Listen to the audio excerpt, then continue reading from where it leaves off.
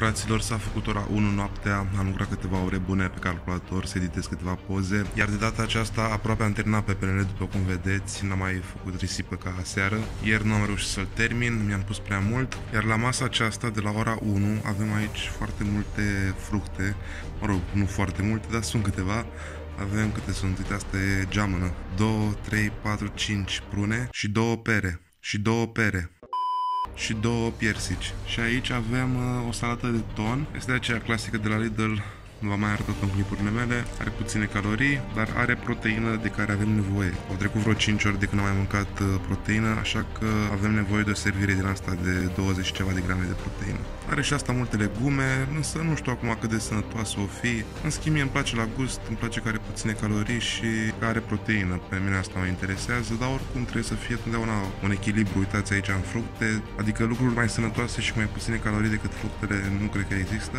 Și întotdeauna trebuie să fie un echilibru echilibru, asta încerc să vă zic. Uitați cam așa arată conserva asta, vedeți, nu e ton din la nașpa, murdar, nasol, chiar arată foarte bine și are un gust foarte bun, nu știu, chiar îmi place.